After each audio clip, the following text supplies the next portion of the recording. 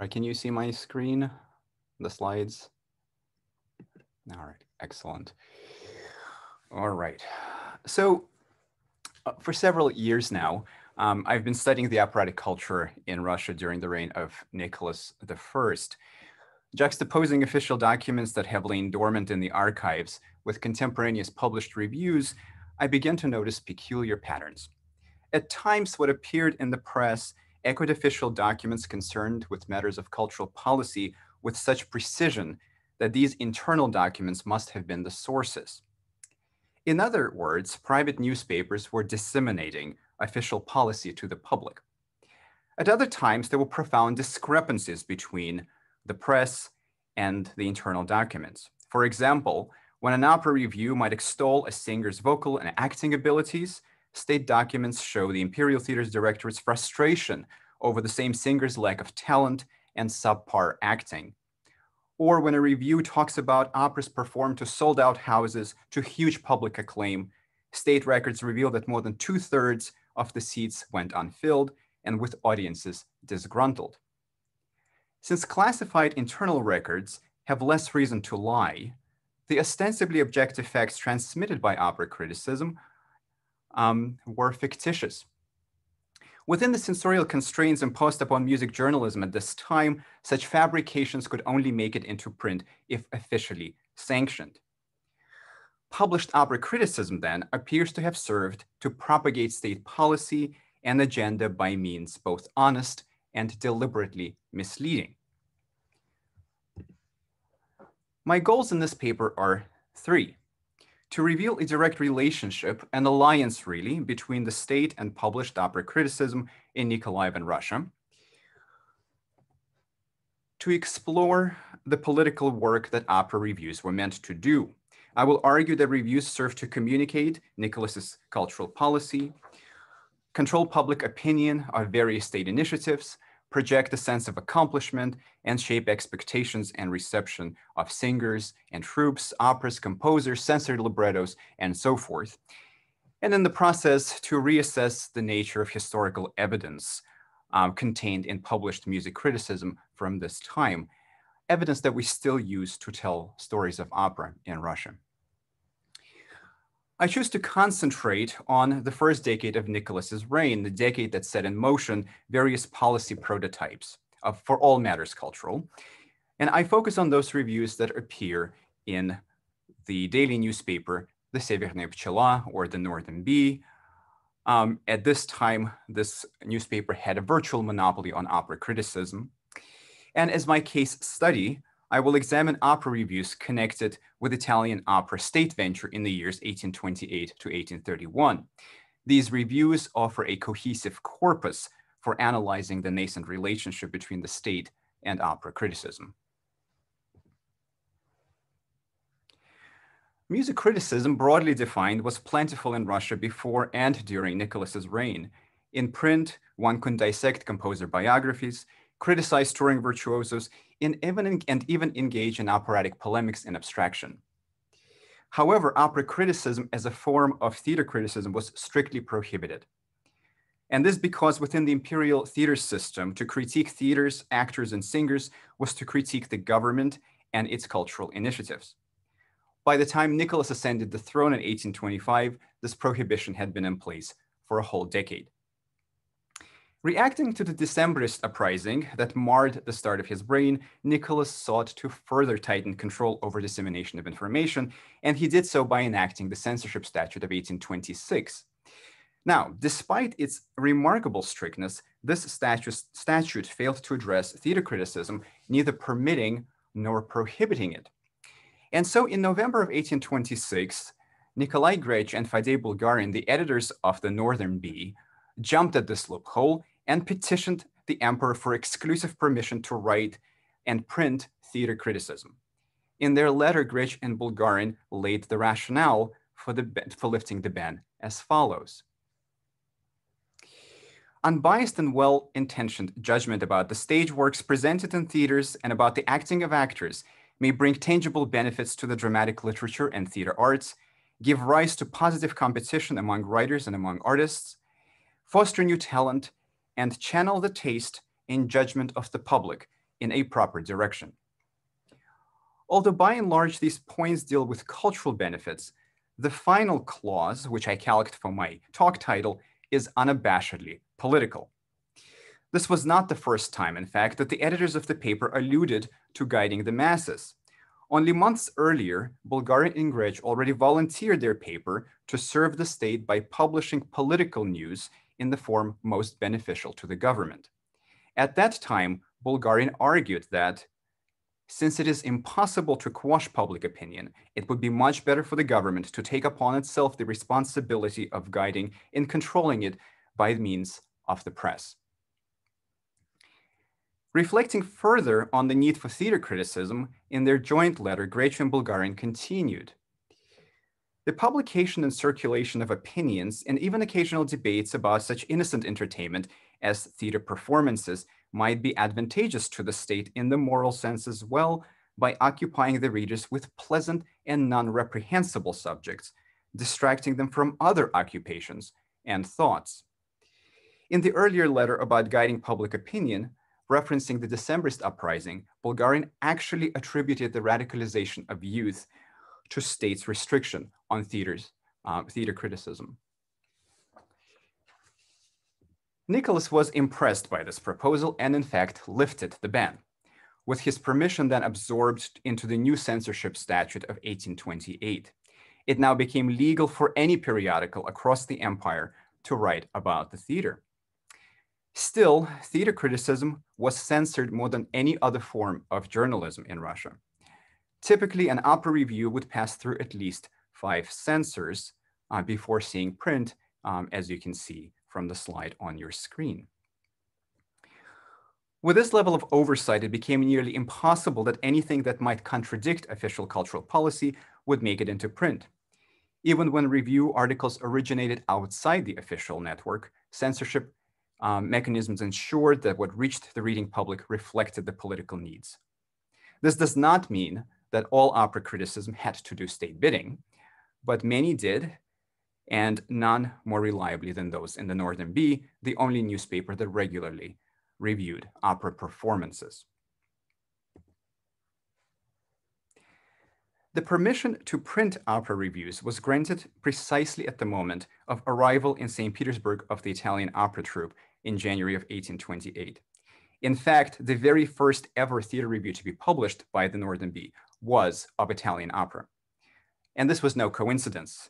As I've argued at this very conference two years ago, the establishment of the Italian troupe in the city was one of the most ambitious projects um, of Nicholas's cultural agenda.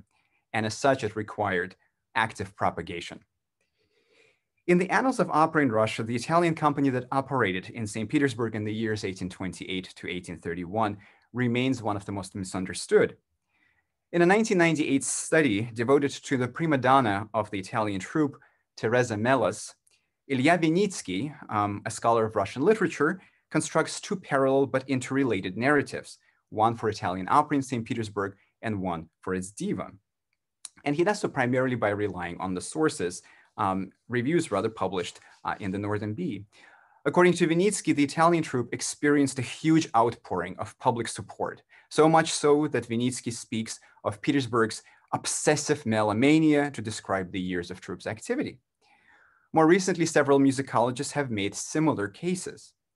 Problematically, by assuming that the reviews are reliable, these studies are misled by the propaganda of Nicholas's PR machine.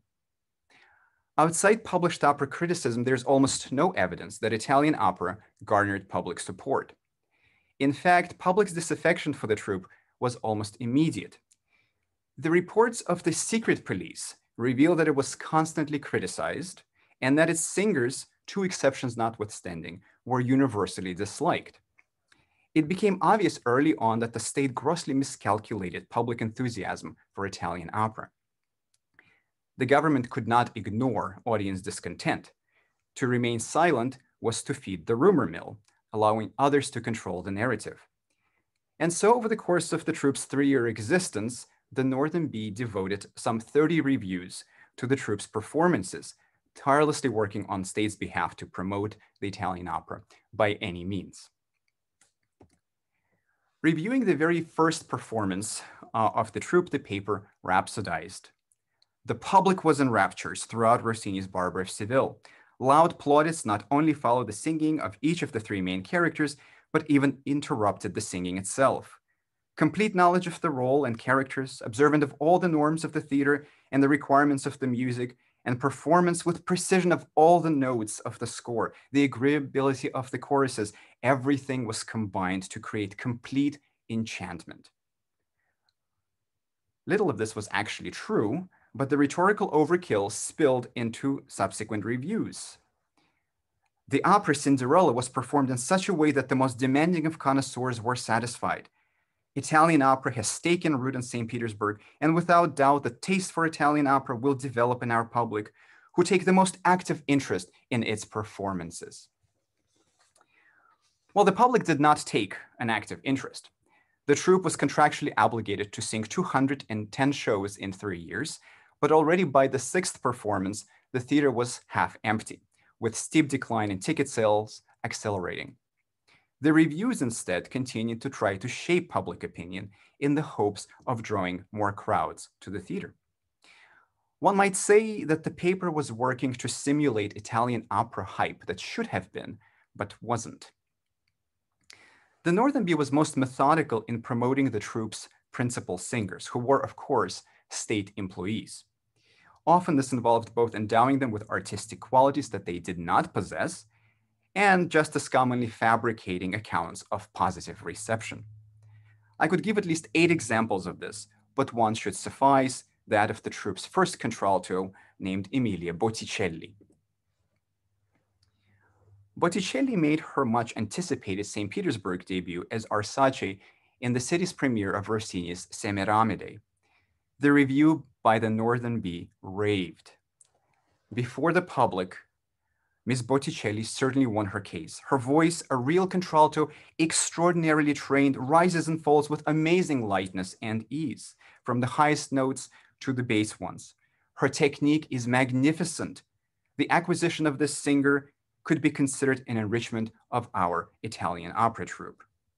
Not one word of this review was true. That same week, the Imperial Theater's director began to negotiate Botticelli's immediate termination. According to official documents, she was hired without ever being heard, and her Semiramide debut, the one that the paper celebrated, was a disaster. Thus, having become aware of the unreliability of the singer, wrote the director of the Imperial Theaters, the director informed Botticelli of her termination, which she flatly refused, arguing that, quote, based on her contract, she considers herself to be in the service for the three-year period, unquote. After five months of arm twisting, she was handsomely paid off to leave the stage without a scandal. During these negotiations, Botticelli continued to perform, with reviews turning progressively more negative. The change in rhetoric mirrored the souring relationship between the state and the singer. Reviewing Botticelli's performance in Rossini's Tancredi, the Northern Bee suddenly had this to say. Miss Botticelli, who took on the main role, upon first appearing on the stage, got off pitch, started to sing horribly wrong notes, and to rush ahead of the orchestra. The wonderful aria di tanti palpiti, known by heart by everyone who knows any Rossini, was sung by Miss Botticelli more badly than we could have ever imagined possible. As their compliment, the audience unanimously and collectively hissed at her. Apart from the stark contrast with Botticelli's glowing assessment in Semiramide just one month prior by the very same reviewer, also noteworthy about this review, because it is so unusual, is that it makes a deliberate mention of the negative audience response, something that was never permitted in the press at this time. But in this case, documenting audiences' reaction made it possible for the government to implicitly claim that in terminating Botticelli's contract, it was in effect respecting the audience wishes. Examples in which the reviews capture the changing dynamic between the singer and the state are plentiful, but most of the time reviews simply furnished glowing accounts of singers' abilities, accounts that clash with the assessments of the very same vocalists preserved in internal state documents. The question then is, what did these fabrications by the press actually accomplish? The answer, I believe, is contingent on another question. For whom were these reviews written? In one of its opera reviews, the Northern Bee addressed with unusual candor the question of its intended readership. For whom do you write? We might be asked. Well, we answer. First, for the readers of the journal from other towns who readily pay heed to the news and gossip that flies to them from the capital. Secondly, for those good people who go to the theater with an honest intent to kill time, without bothering with reflections, and who willingly accept explanations of why they found something pleasant and something distasteful, why something is good and something is bad. The first group of readers then resided outside of the capital. For them, reviews offered remote access to the imperial theaters. The newspaper aimed to inform these readers of the cultural accomplishments of the state, and it did so by systematically constructing alternative reality. The second group of, to whom the Northern Bee catered was St. Petersburg's middle class, comprising, according to Bulgarin, the service nobility, the well-to-do but not the very wealthy, along with the gentry, state officials, rich merchants, manufacturers, and part of urban class. This was the same group that the state tried to turn into regular opera goers um, at this time as it expanded its theatrical spectacles. In its reviews, the Northern Bee worked to groom these audiences specifically for opera. In an effort to shape public opinion, opera reviews specialized in spin. Take the immediate audience dislike for the Italian troupe. One reviewer tried to explain to the city, to the city's theatergoers that in Italy, one expects from the prima donna certain perfection and talent, that primo amoroso is frequently indifferent and at times even bad, that the first and second buffa do not always have good voices, and by and large, they delight the public with their acting and farces. And as to the, all the other actors, due to their extreme mediocrity, no one pays any attention to them anyway. Well, by such a comparison, the St. Petersburg Italian troupe was actually not that terrible. And in fact, by his own logic, the reviewer concluded by saying that one must be rather partial to not be satisfied with the current Italian troupe. Poor singer choices on the part of the Imperial Theater's Directorate also required spin. For instance, in 1830, the directorate hired uh, the once famous Francesca Maffei Festa as the troupe's second contralto. Well, there were two problems. The first one was that she turned out to be a soprano. And the second one is that she was 52 and clearly past her vocal prime. And even though the Northern Bee itself had to admit to being surprised by this hire, the paper managed to put a positive twist on things. The voice of Miss Festa, having lost its freshness, has kept its sonorousness and all signs of previous brilliance. Her technique is marvelous. We think that the acquisition of Miss Festa for our stage is important in several respects, as she was once a leading talent. She could be particularly valuable with her advice and example. Artful actress and excellent musician, she will be the Minerva of our musical, Olympus. Poor theater attendance was a particularly thorny issue for the paper, for empty seats signaled the failure of the Imperial Opera project. Although all too often the paper would deceitfully declare that the theater was full, this was unsustainable long term. At first, the Northern Bee tried to rationalize, um, tried to attribute rather, a poor attendance to um, St. Petersburg's um, theater habits. Unlike the audiences in Italy, the paper claims St. Petersburg spectators preferred a melange of short operas rather than one single long work.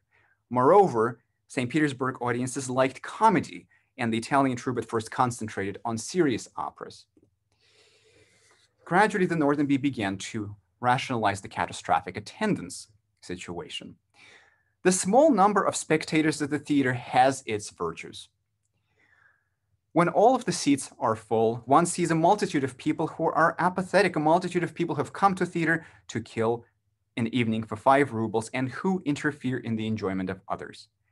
But when the attendance of the theater is connected with some sort of sacrifice, then for the most part, only the most passionate lovers of the theater occupy the seats in the spacious for them auditorium, and all these spectators united in one aim comprise a single community. And only in the final weeks of Italian opera uh, in St. Petersburg did the paper openly admit poor attendance, but it now blamed the public for the troupe's collapse.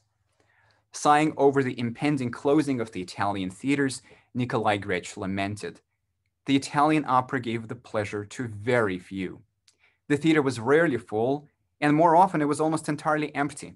Our public loves everything that's new, unprecedented, give it surprises on long playbills, but the true delight of the fine art went to the lot of the few music lovers who with their offerings could not sustain the expense of opera company. In blaming the public, the paper was actually deflecting blame from the Imperial Theatres Directorate. The same Grech wrote, the directorate did not spare expense to establish Italian opera here, but the public did not support it and the opera company could not but collapse. In addition to spin, published reviews also sought to communicate cultural policy to its readers, often preparing the public for changes in policy. For example, with the departure of the Italians imminent, the state began to shift its attention to the German troupe, intending to invest substantial resources in improving the German opera company. And so the paper reported it is said that the Italian opera here will be replaced by the German one. That we, the residents of Petersburg, will soon be savoring the singing of the tenor Haitzinger, Miss Schroeder-Devrient, and other artists only recently delighting the Parisians. The paper warned its readers that this was only quote unquote city rumor. Such rumors originated with the government. At around the same time, the Northern Bee also started to trumpet with much fanfare improvements to the Russian theater troupe. One would read things like this. Generally, public's attention is drawn to the Russian singer, Miss Alexandra Lebedeva. She is endowed with great talent and with the help of art could become an adornment of Russian opera. Behind such announcements stood new state policy. In 1829, in revising the statute governing the theater school, the state made a decision to cultivate professional singers, specifically for Russian opera. The Russian opera troupe would not be created until 1833, but already by 1830, the Northern Bee began to prepare its readers for this policy change. Published opera criticism has always played a role in the historiography of opera in Russia in the first half of the 19th century. Scholars have relied on reviews for factual details about troupes and singers, performance practices, day-to-day theater operations, and receptions of composers and their works. As I hope to have shown today, as a source of objective facts, opera reviews from the years of Nicholas's reign at least are notoriously unreliable. What reviews do document is the state's cultural policy as manifested in opera and as it was quote unquote channeled to the reading public. Such channeling required a collusion of sorts between the state and private press. As we continue to mine published reviews for historical data, I would plead for skepticism and caution in the way we do so. Without thoroughly vetting these accounts, we simply have no way to know what is fact and what is state approved fake news. Thank you.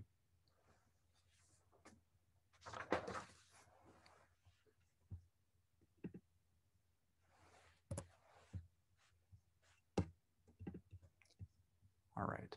I guess as, a, as the chair of the session, I have to open the floor for questions. So please go ahead, uh, Maria. Thank you very much for a really fascinating uh, survey through all this. Um, very naive question. How specific is all this to Russian culture and how much of this is happening in other cultures at the um, time and just outside the time as well? I, I think it, at the time, I think it's happening all over the place. Uh, it depends a great deal on the regime uh, in power uh, at various places. So, for instance, in Vienna, which is the closest into this political system in the 80s and very similar is happening. Um, in Paris, where you know opera criticism is extremely widespread, the situation is very different because a lot of the time um, the newspapers are owned by the publishers of music, and so opera reviews promote whatever is um, useful to the publishers rather than the state. Um, and in Italy, the situation is mixed depending on which Italian state you're in at that time.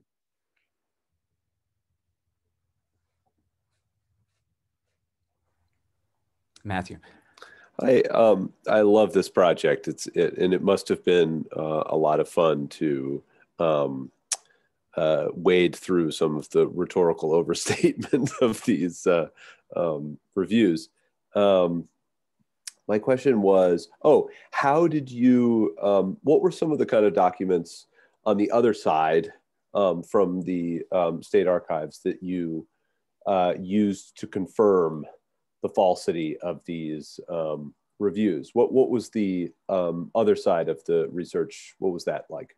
So uh, you mean as in not the state documents, not the published reviews, but what other sources have come into play?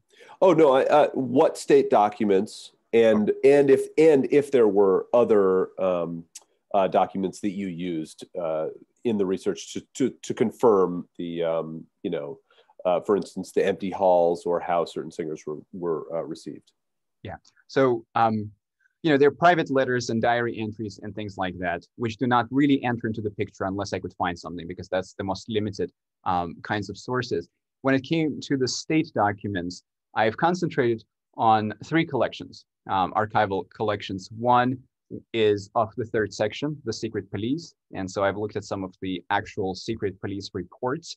Um, you know, every time there was an opera performance, there was somebody from the third section in attendance and they would file a report. Um, so I've seen some of those, not many. Um, then there's the, the, the Ministry of the Imperial Court. So basically it's the, the Chancery of Nicholas himself.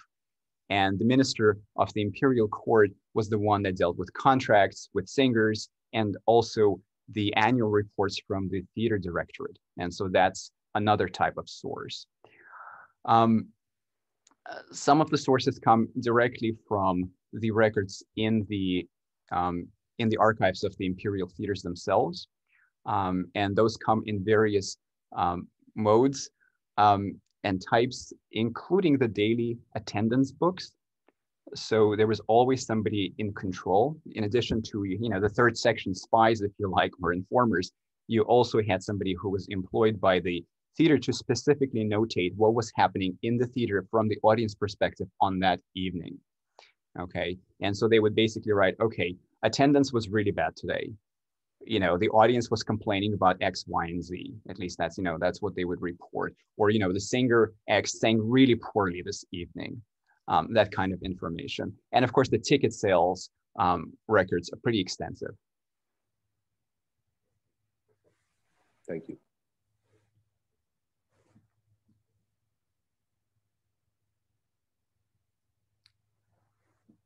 Anna, please.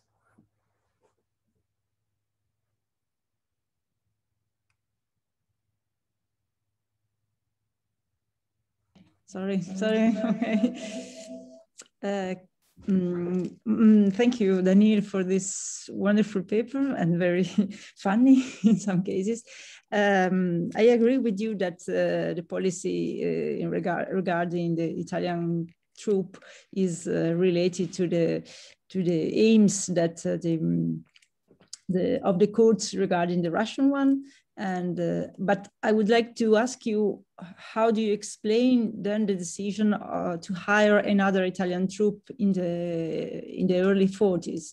So which are the factors exerting their influence on the court, and uh, maybe who exactly, uh, what which individuals exerted their uh, mm, their influence on the court's decision?